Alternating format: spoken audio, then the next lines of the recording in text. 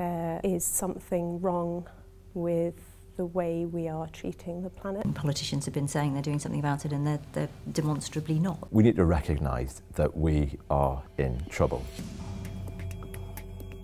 I'm a medical doctor. I'm a GP working in Hackney in London. I'm a kidney consultant from the northeast of uh, England. I'm a doctor involved with Extinction Rebellion. It's been difficult to ignore the warning signs that we're, we're being issued with. Impacts that we're seeing in climate are, you know, have really wide and far-reaching health consequences. It's, it's almost hard to break down. The links between climate change and health are across the board. You, know, you walk around on a sunny day in England and it all looks fine and you think it's all fine, but we have 40,000 people dying already every year as a result of our poor air pollution. Air pollution and climate change uh, go hand in hand. Air pollution from fossil fuel burning. See patients coming in with exacerbations of asthma and respiratory illnesses. Air pollution is as damaging in terms of risk of early miscarriage as smoking is which is really frightening. And that starts right in the womb. Those, those tiny particles get into our bloodstream,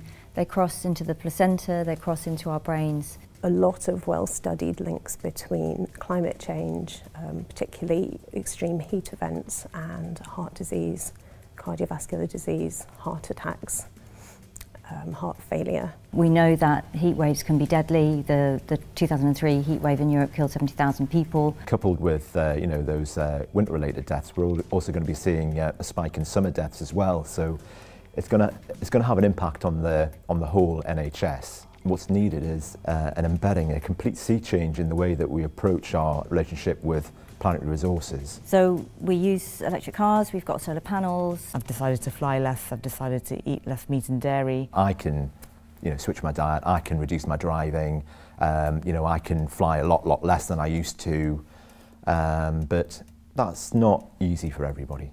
I got involved with Extinction Rebellion when I realised that individual actions weren't enough.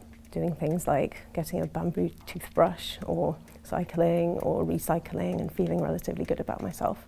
But then I realised that these things are complete nonsense when we live in a system um, which is systematically killing us through use of fossil fuels. The UK is one of the biggest subsidisers of the fossil fuel industry. 10.5 billion pounds worth of taxpayers' money. I must act if there's any risk to the safety of my patients. In the last year I've been arrested twice because I can't look my children in the eye if I step back. There's still no question in my head that I would do it again because I will do it again and I'll do it again until we start to take this seriously. I've seriously considered arrest myself. If that's what it takes, I would do it in a minute.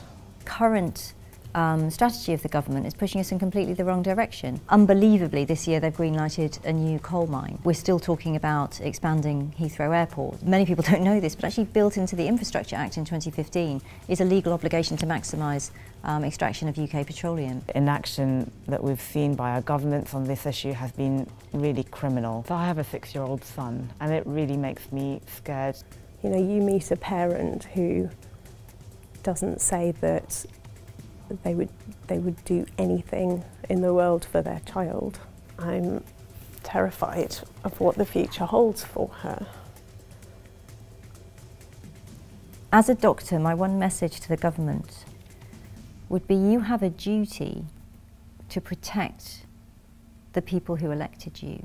Currently what you're giving us is words, we need action. If we can pull that out of the bag to fight an evil regime, surely we can pull it out of the bag to protect the whole of the planet.